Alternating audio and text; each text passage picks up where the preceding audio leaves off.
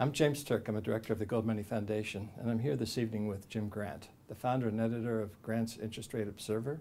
Uh, information can be found at grantspub.com. Jim, it's a real pleasure to speak Well, thank you, you, James. It is good to be here. Um, we're going to be speaking tonight at the Committee for Monetary Research and Education, and you've got a very provocative title for your presentation. I wonder if we can talk a little bit about that. Uh, Yes, indeed. The title is, uh, I think it's Carter Glass Roll Over. Carter Glass being. Uh, Carter Glass is the, uh, uh, is the legislative father of the Federal Reserve System, who um, 102 years ago helped to usher in an institution which today he would not recognize.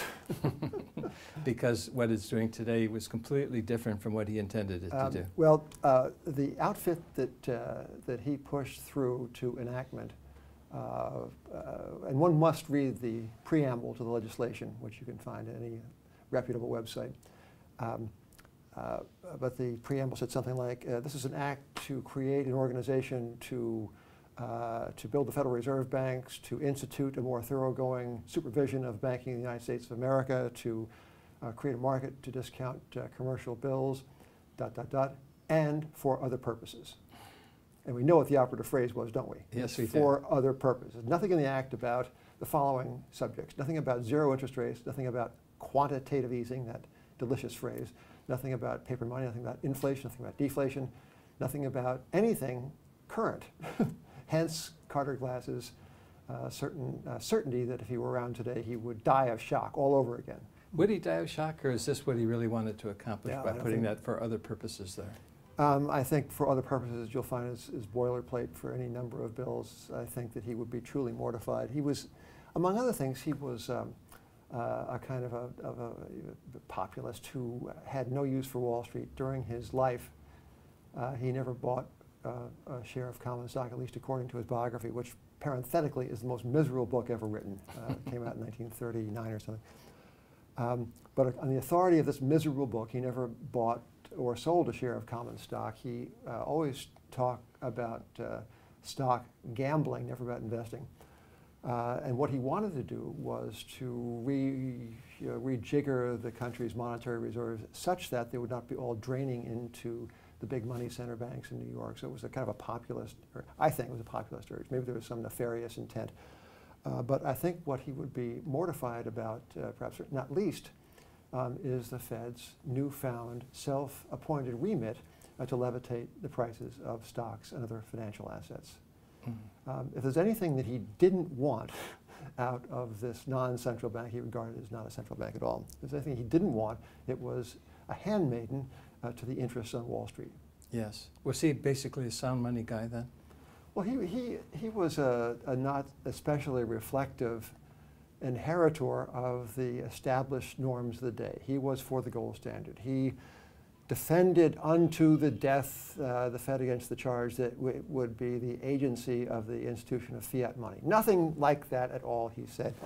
Um, he was a real bills man, meaning that he believed that the commercial banking system was in business to, um, uh, to facilitate trade and agriculture through the provision of liquidity against the collateral of self-liquidating short-dated commercial credit. That Hmm. was the sum and substance of his views, and all of that is, is evident in the Federal Reserve Act.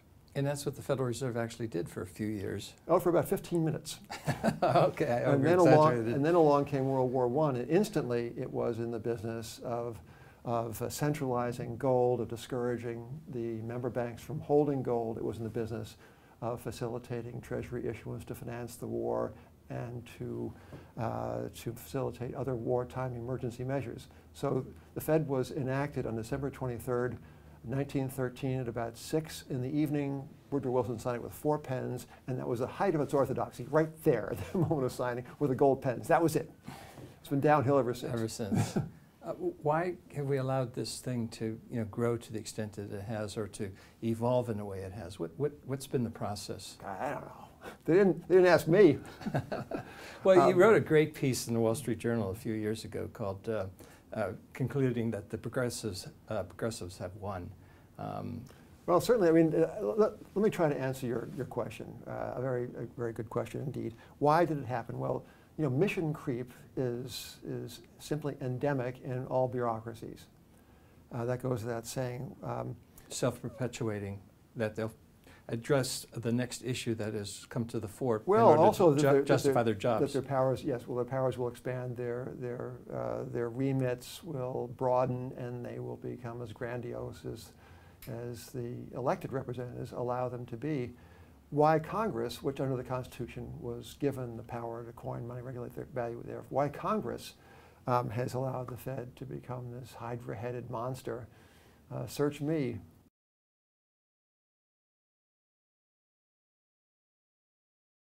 Whose interest it has served is the interests, broadly speaking, today of our speculative classes. Mhm. Um, uh, people who deal in wholesale sums of money find it ever so expedient to borrow at nothing. Yes. Zero percent is a, an excellent funding cost. um, as to the trusting souls who save dollars and who have them on deposit in what we are pleased to call banks, those trusting souls are the losers.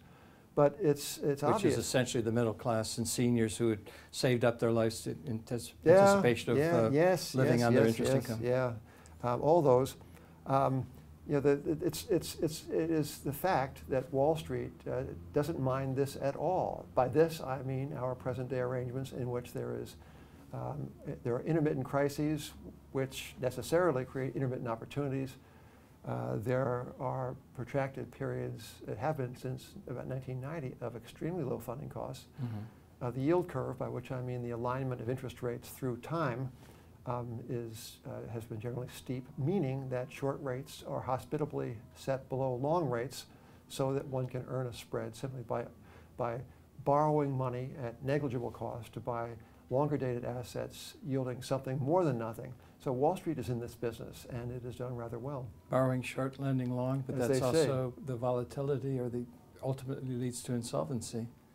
Uh, Well, it leads to a- insolvency among some, but notice how many are not broke doing this. So, know, for every layman, there are a lot making a lot of money. Yeah, yeah. Um, but, you know, getting back to the Federal Reserve, doesn't it also serve the politicians in the sense that there's no discipline on their spending? Yes, They know it that whatever, the- whatever Yes. they want to spend, the Federal Reserve is going to step in You and are quite do right. quantitative easing and It serves, it serves the interest of those who would expand government power. It serves the interest of those who run up great big debts because note there has been no check on our external borrowing since about Monday morning, August 16, 1971. Even before that, there was really very little check.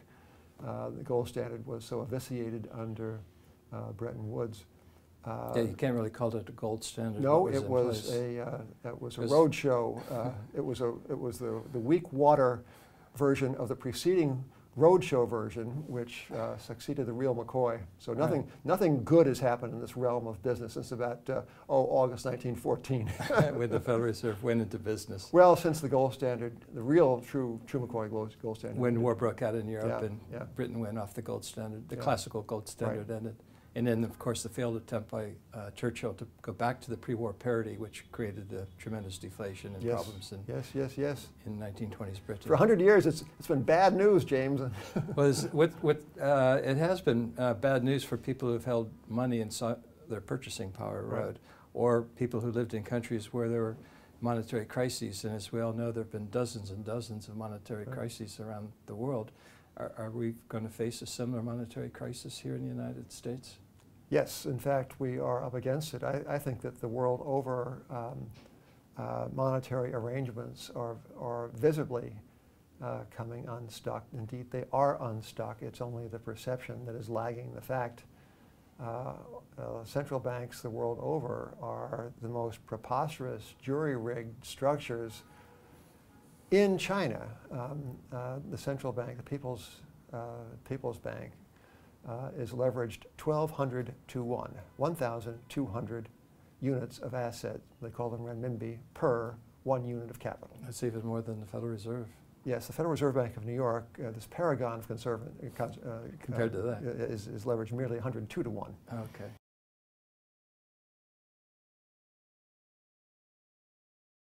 In the day, back when you and I were in school, James, uh, 1913, uh, the, uh, the role, of course, central banks were then, by and large, investor-owned institutions that were, most of them doing a conventional commercial banking business of some kind, and they presented their financial, their- they presented a balance sheet that was uh, meant to be and did indeed conform to the orthodox norms of the day. They were, uh, they, you know, they, they had no overt state support. They were not recapitalized by the state intermittently. Um, they were to a great degree private, independent institutions in, in, in fact, and they were uh, solvent, Mhm. solvent.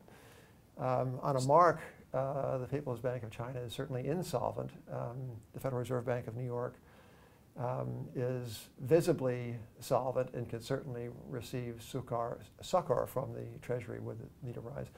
Um, and you know, I, I don't mean to press the the point uh, that the, the leverage ratios are extreme. They are obviously extreme, but I think the symbolism of that extremism in leverage is important because it signifies how far off the path of gold standard orthodoxy we have veered in about 100 years. Uh, way off the path. Yeah, way off the path, and ultimately that leverage has to be reduced because we've reached a level that the cash flow just doesn't sustain that level of debt anymore. I mean, Greece perhaps is Yeah. the poster child of you know over leverage, but you know there are any other number of Well, countries America you can a, point is a pretty good poster child for over Well, I know you've been following this for a long time. I remember, was it 1992 you did the first prospectus of the U.S. government debt? I think Uh, even earlier. was I- it even yeah, earlier? I, I, yeah, I, I, yes. Uh, notice how many people uh, paid attention. you, you, you paid attention. I remember. But a lot of people uh, are paying attention now. Yeah. Um, and I mean, okay, maybe you're a little bit early in terms of pointing out some At of the problems. 20 years is nothing. 30 years is nothing. Well, take the long view, yeah, right? it does, it does. Yeah. But let's talk about the U.S. government's position. It seems pa- basically insolvent, right?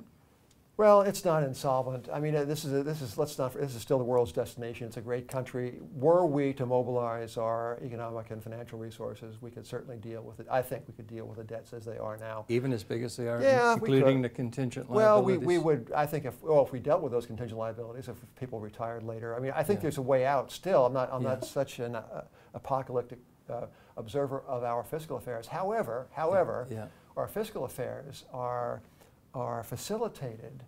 Uh, we are addicted to um, our reserve currency privilege, which is in fact not a privilege but a curse. And insofar as we persist in paying our bills with the currency that only we can produce, and insofar as our mercantilist Asian creditors return the dollars we remit to them instantly in the shape of investments in our treasury securities, we are certainly running down the path, not merely trotting, but running down the path of national insolvency because there's no check on our incontinence. Yes. That is the rub. Uh, Paul Ryan is a well-intended man with a serious program, but inso- you know, he doesn't address the problem. The problem is the reserve currency aspect of our monetary affairs. Which, as you say, is a curse, but it's also a responsibility in a sense that if we maintain an, uh, a, a bad reserve currency, this has worldwide impact. Well, sure, and you know, the, the, the, there's, a, there's a great big discontinuity um, in our affairs. Uh, the, the, the dollar is the world's currency, uh, but the Fed is America's central bank, period. Period. Pays no attention to anything outside the 50 states and Mhm. territories, I guess. Um, you know, that it, has, it doesn't care at all. In fact, I think it is not so secretly rooting for a much weaker exchange rate, but it doesn't care that two trillion of our assets, where the number really is, is on the balance sheet, are on the balance sheet of the People's Bank of China. They didn't care that half of Asia seems papered with our, with our green currency. Uh, the Fed's in the business of ginning up uh, the stock market. It's in the business of uh, you know sustaining full employment as defined these days, which is a very loose definition indeed. It's in the business of promoting what they are pleased to call price stability. Nothing about what you rightly call the responsibility of reserve issuing a reserve currency country. In fact, no, there's only been two reserve currency issuing countries, um, if you don't count the intended reserve currency status of the Eurozone, ourselves and Britain. Mhm. And notice how little attention either one of us paid over the years since, you know, since at least the, when on paper, uh, to our obligations to our creditors, like zero. And the dollar only became a world reserve currency because of the link to gold, as the saying was back then, as good as gold. Yeah. Uh, and basically, Britain, when it was on the classical gold standard, the term gold and pound were synonymous with one another because of the Yeah. redeemability features. Well, I guess I guess there was some connection as well to geopolitical power, but certainly, uh, you know, what the, James, to me, the remarkable thing about the dollar now and, uh, uh, is, is that it is still accepted as a unit of uh, medium of exchange and, and still a store of value the world over without anything behind it except the good intentions of the issuing government. It Mhm. is truly, if you stop and think about it, to me it is one of the most remarkable achievements in the history of money. The dollar does serve this role without anything behind it except Congress and the analytical acuity of the Federal Open Market Committee. It's, a, it's, a, it's Yeah. quite something. But I mean, fiat currencies around the world are accepted on the same basis until some event occurs. Right, And, you know, people's eyes open it's up been and they. 40 years. This is a pretty long run. Yeah, it dollar. is. But. Um, I'm not saying it's going to be in perpetuity. and we're not going to go another 40 years even. no, maybe. but when you and I maybe 40 when, days when you and I still had, had dark hair, we were talking the same stuff. I'm just I'm, I'm, I'm trying to be a little bit uh, discreet about timing. okay, thank you. I hope I live long enough, but I'm I'm a, let me just say I'm impressed by the staying power of this fiat currency. yeah, I am deeply impressed by it. Yeah. Uh, what, what do you attribute that to? Just you know, propaganda, lack of No, education. well, well, no, that's part of it, I suppose. But uh, let's, I mean, we take for granted the fact that the United States still has a Statue of Liberty, Disney World, the New York Public Library, the United States Marine Corps. This is a great country. It is the world's destination for people, and to a degree, still, it is the world's destination for wealth and for opportunity. Uh, the United States is like Major League Baseball. They try to destroy it, but they can't. Mhm.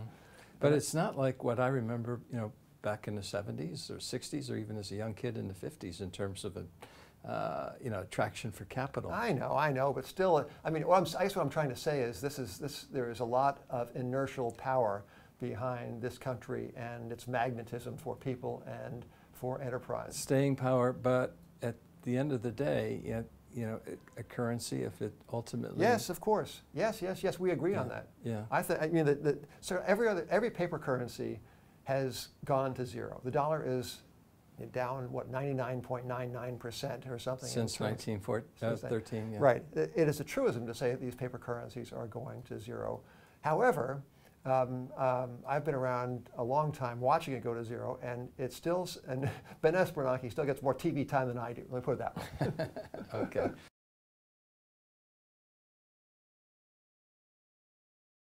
You talk a lot about interest rates, but um, how do you see the interest rate picture I now? can't see them anymore. I know, I mean, I, amazing. they're tiny. They're zero. Are the bond vigilantes, uh, are they still a big factor in the No, market? they're all retired about 1986 and to Boca Raton. There aren't. there is no bond vigilante movement. Bond vigilantes, of course, were the uh, group of public-spirited chaps and ladies who, it was said, would rise up against any sign of monetary debauch or uh, fiscal profligacy and snuff it out like a candle.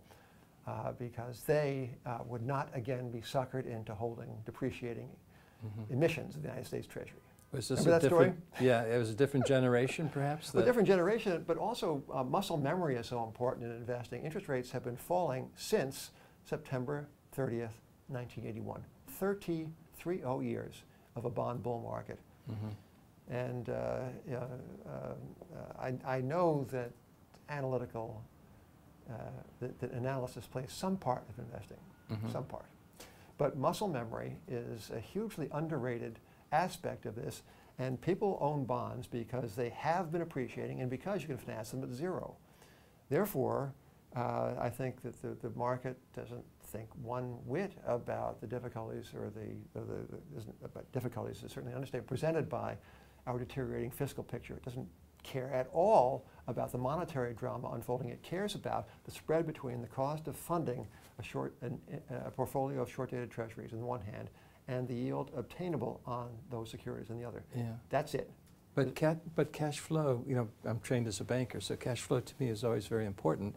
And I just looked recently at the uh, April U.S. government budget deficits, and for the seven months of this fiscal year that we've completed so far, uh, the, the debt has gone up $870 billion, but more significantly, of the $100 that are being spent by the federal government, 40% of it is coming from uh, borrowing. Uh, 60% of it is coming from revenue. I mean, that's unsustainable on a cash flow basis. Correct. It's unsustainable, and uh, we are doing this with interest rates at, uh, at multi-generational Ima- lows. Yeah, imagine if they were at a normal level, what that would do in terms of adding to the additional question. expenses of the I mean, government. uh, no contest, uh, no disagreement with anything of what you said. However, my contention is that uh, those irrefutable facts are of no consequence to people whose time horizon is about a day, who fund at zero, and who earn a spread. They do Mhm. not care about the cash flow statement of the United States Treasury. What they care about is the spread between funding costs and yield earned. That's it.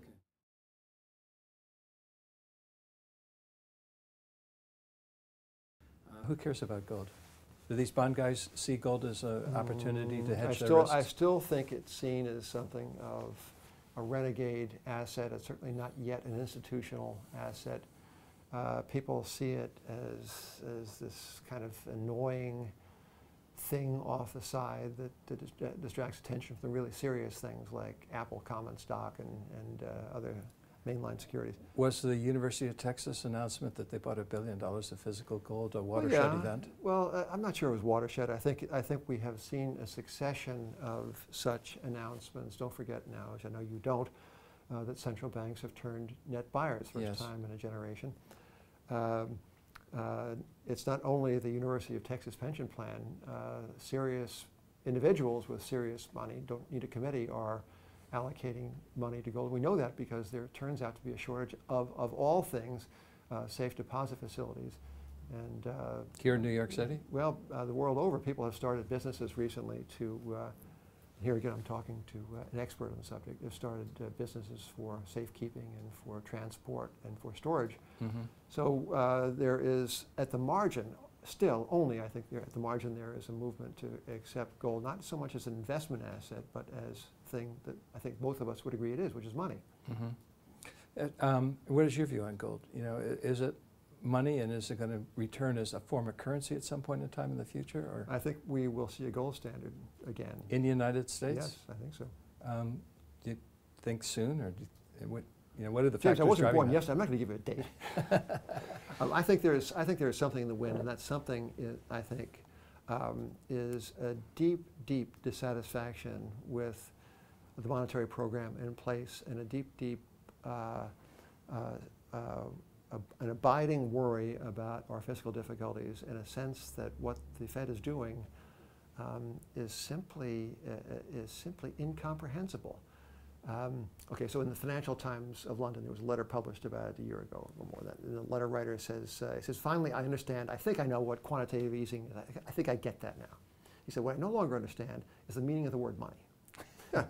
so that to me is the most clarifying couple of sentences of the crisis. Mhm. And I think that, that that thought, though perhaps not expressed so concisely or, or humorously, is in the back of the minds of the American public. Well, Money of the Mind was one of your many Well, books. thank that you, James. Thanks you've for, for ramming that in the conversation. Well, I've read your books, and that's a good one. Yeah. And it seems appropriate to bring it in here Right. because we're talking about the points that you were making Yeah. in that book. Yeah, so I, I think I think that uh, the reason I think that there is more than a snowball's chance of a gold standard being enacted. First of all, arithmetic is working against the existing business. Mhm. Uh, the banking business doesn't make any sense. It has to be recapitalized uh, much too frequently for the financial health of the people who are capitalizing it, that is to say, the long-suffering taxpayers. So the banking system itself, um, it, arithmetic is working against it. Arithmetic is working against our fiscal affairs, and arithmetic is working against the balance sheets of the world's central banks. Uh, the leverage doesn't make any sense. Um, uh, the fact that the world's second largest economy has a central bank that is factually, must be factually insolvent. All these, all these things, these, these, these certain facts, I think, are congealing, and I'm not sure what the catalyst is going to be. It might be some bright light of a politician, you know, finally getting it and speaking to people in such a way as to present the issues to them in a way that, that, that mobilizes public opinion. Uh, but we have arithmetic on our side.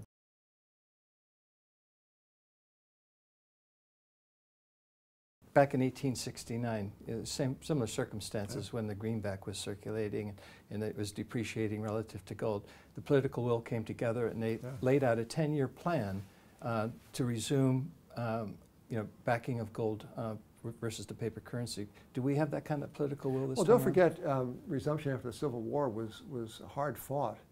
And not- the, the political will, I guess, was manifested finally in this act being passed, but it, they did put it 10 years off in the future. But that was necessary to make the adjustments to go back to gold, Yeah, wasn't but it? it was necessary because it was, it was, it was A good only marginally popular. It Yeah. was, it was, uh, it was very controversial. And it became more so, of course, in the 1870s and 80s as the greenback and populist movements gathered.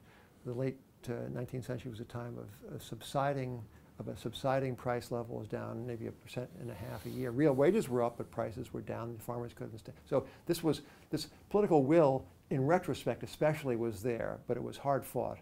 Mhm. Um, and I think that, uh, that what we have going for us today, again, is pure and simple arithmetic. Do- Does Congress realize that, do you think?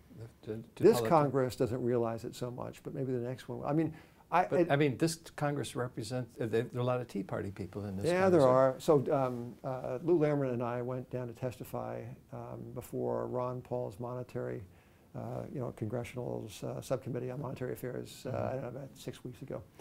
Um, and Ron Paul, of course, is very friendly to all this. Um, and uh, so Lou and I figured that there would be this, this would be a fabulous opportunity, and, and indeed it was a very flattering one. And the Democrats boycotted it. We were told Democrats wouldn't wouldn't show up and dignify these proceedings with their presence. What we didn't expect was the uh, de facto boycott by Republicans. we were testifying in front of ourselves and our immediate families. it was kind of dispiriting in that sense. So I'm not sure where I get off saying there will be a gold standard, except I believe that uh, uh, finally there is some reservoir uh, in the American electorate of good common horse sense. And when horse sense meets arithmetic, I expect good things to happen. Mhm. Will there be faith in the government in maintaining a gold standard if it does go back to a Oh, gold I don't standard? know. Let's, let's, let's get that, cross that bridge when we come to it. Yeah. Is the gold standard really the only alternative in your view? Well, unless somebody can think of something better. I mean, the- gold standard, uh, uh, to most minds, has a hopeless layering of cobwebs. It is like so they say, well, if we have the gold standard, can't we bring back, um, can't we bring back a dysentery too? I'm nostalgic for that as well. So people, people are, are, if you talk to the, the average Manhattanite about this, um, they're saying, shall we say, skeptical. Um, uh, so I am open to suggestions about what might be a standard such that uh, uh, the world's balance of payments is synchronized rather than, uh, rather than stymied. Uh, I'm open to a standard in which uh, the monetary medium is recognizable as money everywhere and accepted universally. I'm open to a standard in which that monetary medium grows at approximately the rate of the world's population. It seems to me that such a standard is, I can't conceive of anything even remotely resembling uh, a gold standard. Certainly none has been tested in what my friend Lou Lehrman says is the laboratory of human history. So we had 100 years or more of not perfect, but a remarkably, um, a remarkably successful run of a standard that managed to uh, maintain price stability and serve as a kind of a gyroscope of economic growth, of stupendous economic growth in a time of great technological progress. So what's wrong with that? Yeah, What's wrong with that? wrong with that. But, you know, can governments be trusted with the gold standard, or should we be looking at private markets? Well, let's, let's have markets bring it. And I think state legislators, there must be a dozen of them, they're either weighing it or have recently enacted. Yeah, you've seen some of the movement Yeah. in Utah, South Carolina, and a So whether, whether, whether the movement comes from the bottom up, or the bottom up probably is more likely than the top down, I'm happy, I'd be happy to see a kind of a competitive currency situation develop. Maybe if Congress would just stop taxing gold as a collectible, that would be a good step forward. I dare say you have better ideas than this than I do. Uh, but I, I do have some confidence that, in two things, I have, I have, a kind of a dread, that's a form of confidence, but I have a, I have a, a, a dreadful confidence that existing arrangements will not last. Mhm. Uh, in fact, I would put that down just like Bernanke did. I'm 100% certain of that. Okay.